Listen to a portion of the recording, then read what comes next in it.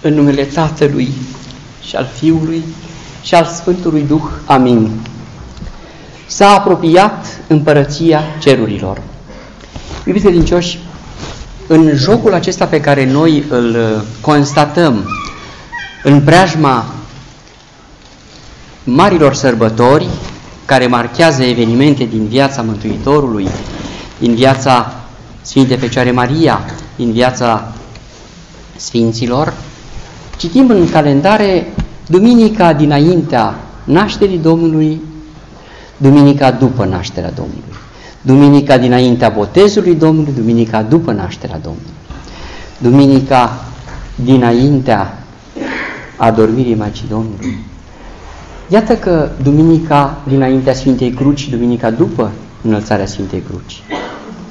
Va să zic că este un rost al sărbătorii prin aceea că ne pregătește înainte de a se petrece, dar mai ales, așa cum este astăzi, duminica după botezul Domnului, ne învață ce trebuie să facem cu sărbătoarea și din sărbătoare. Ca să înțelegeți mai bine, am să vă spun la început un lucru. Un lingou de oțel costă 3 euro.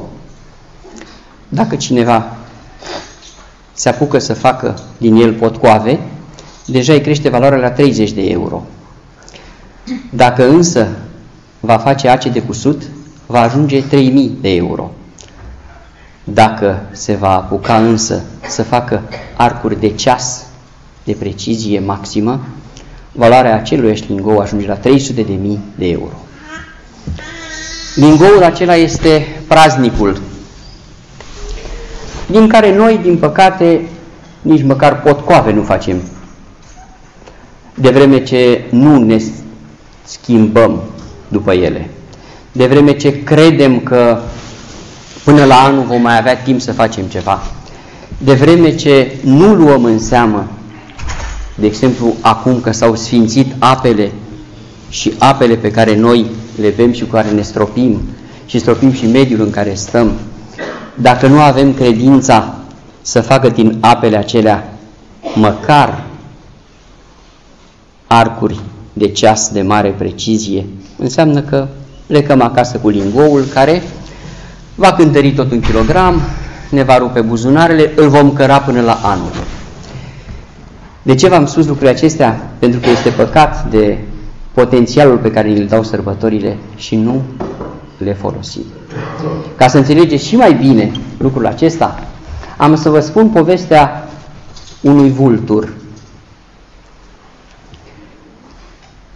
Se spune că odată un om a găsit un ou de vultur și s-a gândit să-l ia pentru că tot așezase niște cloști pe ou, să-l pună sub cloșca lui. A fost foarte bine pentru că oul acela și-a scos din el puiul de vultur, numai că acel vulturaș mic s-a amestecat printre puii de găine, frații lui, întâlniți de, și cu timpul a început să urme, a început să mănânce ce mâncau și frații, a încercat de câteva ori să zboare și a mers așa puțin pe deasupra pământului, s-a întors și a îmbătrânit vulturul uitându-se spre cer și mâncând furnici. La bătrânețea lui însă, în curte, s-a așezat o umbră și când s-a uitat sus, era o mândrețe de vultur. Și uitându-se admirativ și întrebând ce este acesta, frații lui au spus, acesta este un vultur, regele păsărilor. El este din lumea cerului, noi suntem din lumea pământului. Și a rămas vulturul acela să îmbătrânească și să moară în ograda în care se născuse pentru că el atât a crezut despre el că se poate. Iubiți credincioși, nu cumva sufletul nostru este oul de vultur. Nu cumva am fost sub aripa ocrotitoare unui societăți care ne-a spus că atâta putem? Nu cumva școala a fost la fel de grijulie ca nu cumva să urcăm mai sus, nu cumva să dăm din aripi. V-am mai spus și altă dată ce mă deranjează încă de la grădiniță cu vieții copii, că li se dau hârtii deja desenate și ei trebuie să coloreze. Asta ce înseamnă? Că punem ghiozdane peste aripile copiilor, în loc să le lăsăm mintea să zboare și să vedem noi câte rotocoale știu să facă și pe pereți, să știți. În calitatea mea de bunic sunt pregătit deja. Am discutat cu câțiva zugravi dacă se va întâmpla, putem să acoperim. Prefer să zugrăvesc o casă decât să pun ghiozdane peste aripile de vultur ale copilului. Ca la sfârșitul vieții ce să facă copilul acesta sau nepotul meu să se uite la cer să spună dar ăla ce e măi bubule? Păi știi, ăla este un vultur. Și cum de el zboară și eu un zbor? E, păi uite, te-ai dus la școală și te-a tras în jos toată șanțătoare, te-ai dus în societate și, în primul rând, te-a învățat să stai pe data de 2 ianuarie la coadă, să te așezi după 5.000 de oameni, să stai la coadă să-ți plătești impozitele. De ce? Pentru că tu ai crezut că așa este bine, că tu ai crezut că așa este cu folos, să se ajunge bani la buget, să meargă bine. Eu am auzit niște declarații fantastice, fantastice, oameni care stăteau de la ora 5 la o coadă de 5.000 de oameni și spuneau că ei vor să scape de această grijă. Băi, fraților, întreba reporterul, dar mai e până pe 31 martie? Nu, nu, nu, acum, să scăpăm acum. Să, să fie bani la buget, să se dea pensii, că dumneavoastră nu știți că nu se dau pensii din cauza noastră. Asta ce înseamnă?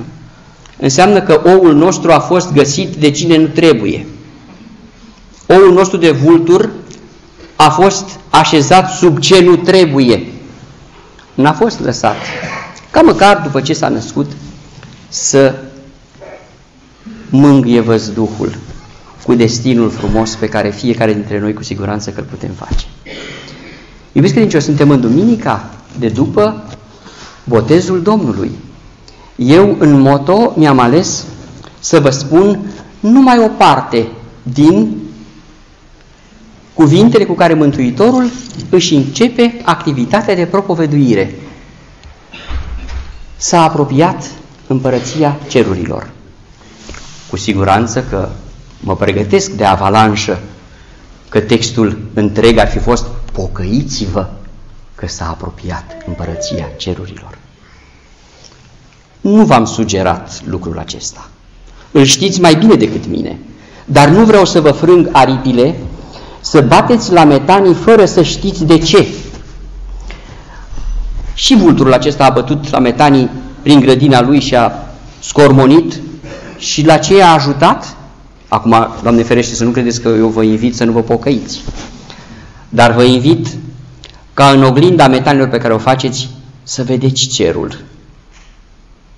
Dacă atunci când vă apropiați de pământ, vă uitați cu atenție, vedeți cerul și văzând cerul, puteți să vedeți și destinul vostru care este să zburați, nu să intrați în pământ. De aceea am spus, s-a apropiat împărăția cerurilor. Și ca să înțelegem mai bine împărăția cerurilor, am să vă spun ce frumos s-a întâmplat într-o expoziție de pictură, în care erau expuse diverse tablouri cu nuferi de Monet. Unul un pictor impresionist, francez de bună seamă, avea acolo expus și cel care se ocupa de găzduirea acestei expoziții, matroana i-a spus, uitați-vă la acest tablou. S-a uitat, după care l-a dat jos.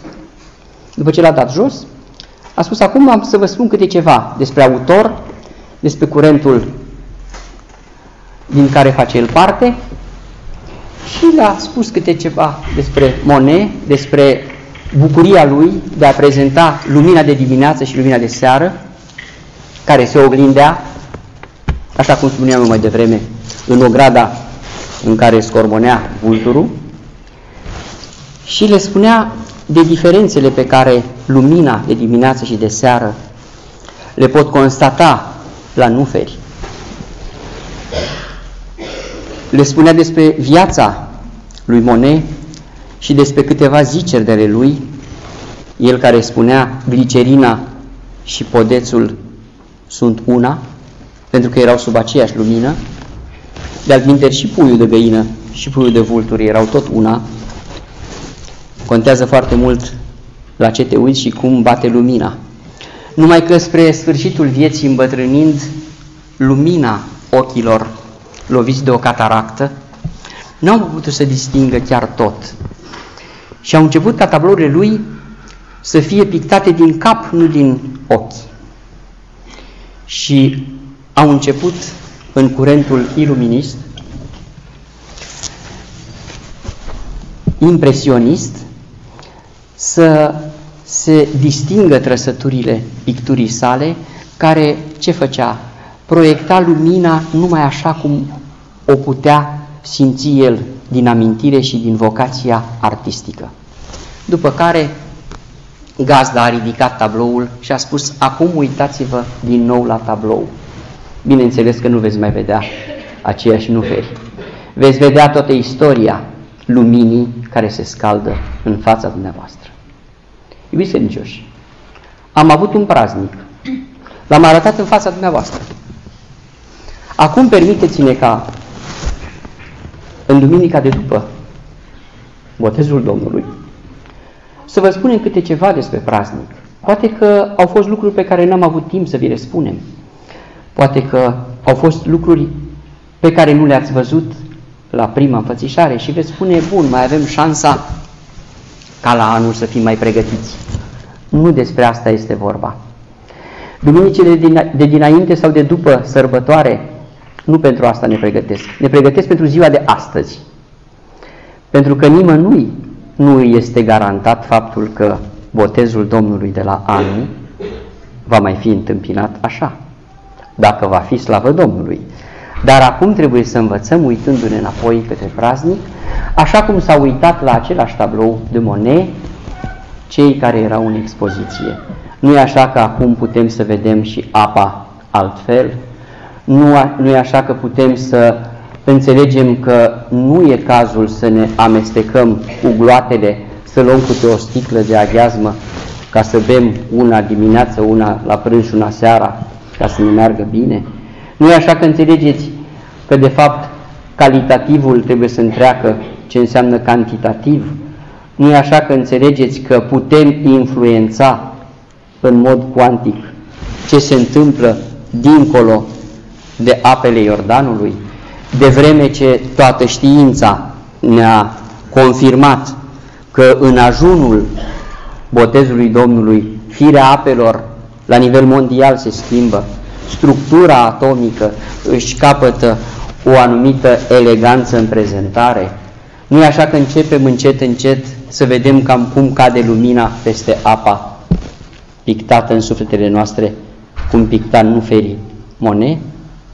Începem să ne pară rău? Nu, trebuie să ne pară bine că ne-a rânduit Dumnezeu să ajungem și în această duminică. Este o duminică a trezirii, o duminică în care să fim conștienți că destinul nostru este a zbura. Că nu zburăm încă, e din cauza noastră că ne-am lăsat târâți, chiar am curat să vă spun, de școli și de societate, în privirea către cer numai ca să vedem ce fac alții, nebănuind că de fapt acolo este locul nostru. Nu că ni l-au luat alții. Nu, n-am ajuns noi acolo pentru că nu am crezut în noi, fără să dăm vina pe ceilalți, nici ceilalți nu ne-au încurajat că putem să o facem. Dar asta a fost până azi dimineață. Haideți ca de azi după amiază să începem să înțelegem un lucru. Să înțelegem că ține de noi să zburăm sau să scârmăm. Acum, vă aduceți aminte de cel care a găsit la un moment dat o bancnotă pe jos, după care toată viața lui a stat numai cu capul în jos și până la sfârșitul vieții, bineînțeles că adunase câteva tone de șuruburi, de piulițe, de ce credea el că e de valoare și a deschis și un muzeu la sfârșit. N-a arătat ca tablourile de Monet, cu siguranță.